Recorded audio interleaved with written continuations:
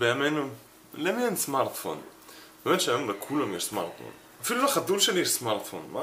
אתמול אפילו ישבתי בסלון, וזה מה שקרה. כאילו...